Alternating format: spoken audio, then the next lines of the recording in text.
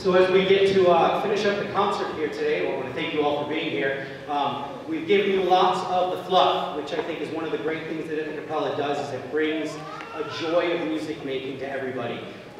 But one of the greatest things about this group is our goal and our continuation of making great music.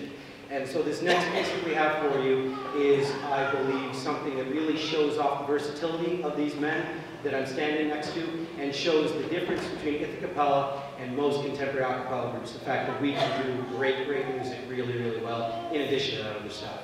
So please enjoy a beautiful setting that we've done many, many times over the years. Been out here